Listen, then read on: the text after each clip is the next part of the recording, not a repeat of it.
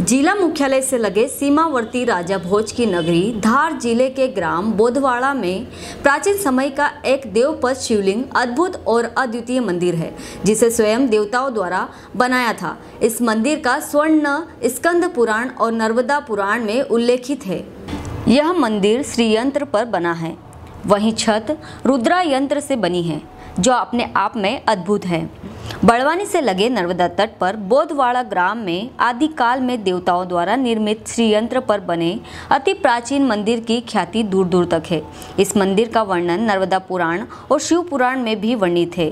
कहा जाता है कि इस मंदिर को तब बनाया गया जब देवताओं और दैत्यों में युद्ध हुआ था। तब देवताओं ने स्वर्ग से धरती पर आकर माँ नर्मदा के तट पर श्रीयंत्र पर शिवलिंग की स्थापना कर, यहीं से माँ नर्मदा की परिक्रमा पूर्ण कर, यहीं पर समाप्त कर विजय प्राप्त की।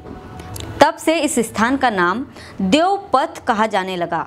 इस मंदिर में कई संतों ने यहाँ आराधना कर सिद्धि प्राप्ति की, जिसमें प्रमुख बालीपुर के बाबा को सफलता मिली, जिससे आज बालीपुर वाले बाबा के स्वर्ग लोक गमन के बाद भी लोगों के मन में बसे हैं, जिससे आज बालीपुर वाले बाबा के स्वर्गलोक गमन के बाद भी लोगों के मन में बसे हैं। बड़वानी से अतुल कुमावत की रिपोर्ट। भदौड़ा का मंदिर इसलिए प्रसिद्ध है देवताओं ने नर्मदा परिक्रमा शुरू करी थी। और क्या विशेषता है? इसकी विशेषता है कि श्रीयंत्र के ऊपर बना हुआ है और यहाँ बारह लिंग है। दो मंदिर के अंदर है एक गाँव में है मांगीलाल भाई के घर और नौ नर्मदा जो है जलमग्न है। देवताओं ने यहाँ से परिक्रमा चालू शुरुआत की थी तो क्या कारण रहे थे? देव राजा बलि ने निन्यानवे अश्वमेध यज्ञ के पूरे किए थे। तो देवता उस समय घबरा गए थे कि अब हम ऊपर चढ़ाई करेंगे। इसलिए उनको बोध हुआ था, इसलिए इस गाँव का बोध बड़ा है।